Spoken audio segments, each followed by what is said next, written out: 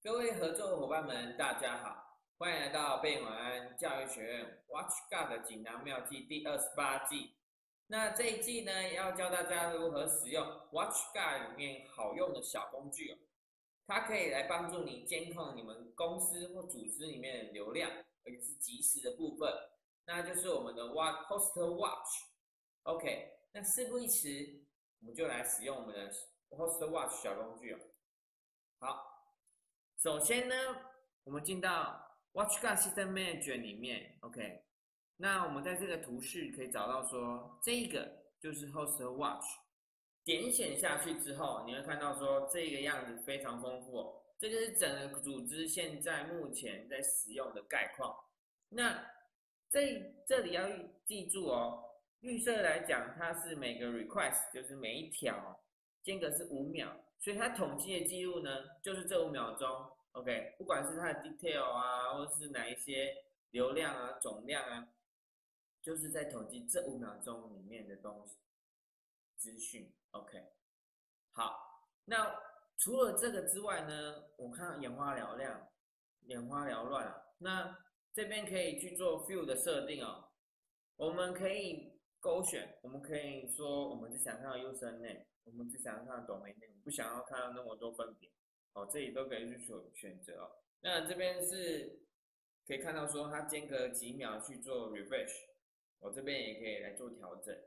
再来呢，我可以针对 policy 的部分去做修改，OK。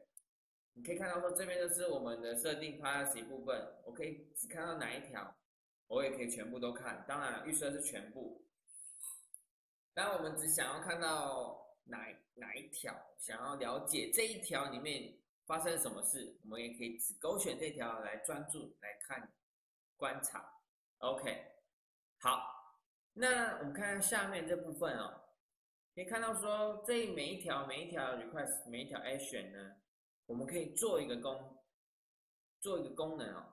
我们点选右键，我们去可以暂时性的阻挡。也就是说，如果我觉得这是异常，然后我觉得这个五点五点一零六哦，到这个 FQ 点哦是异常，哦还用 Team View，那我想要不要 block，我就直接点选 block 起来。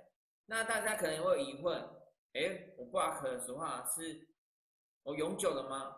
哦，不是哦。它是暂时的，当你做阻挡、做封锁之后，它会出现这个画面来询问说：好，那这个暂时的阻挡呢？你要阻挡多久？OK，预设是二十分钟啊。当然了，这里都可以做调整。那整体来讲，Post Watch 的部分呢，它除了可以观察到流量，它还可以做到暂时性的 block。是非常好用的小工具哦。好，那 Post Watch 它的功能大致上就是这边。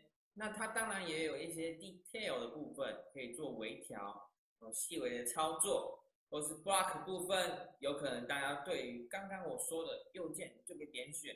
那到底是要我要阻挡是目的地还是来源的部分？哦，想要更了解 detail 的话，这边是我联络方式，哦，都可以来询问我。我都会一一的回答，或者是在 YouTube 上面，你们订阅之后呢，如果看到我们影片下方，哎，如果影片内容有一些问题，在下方都可以留言，我都会回答。脸书也是一样，欢迎大家来按赞。那今天的第二十八季就到这边，谢谢大家。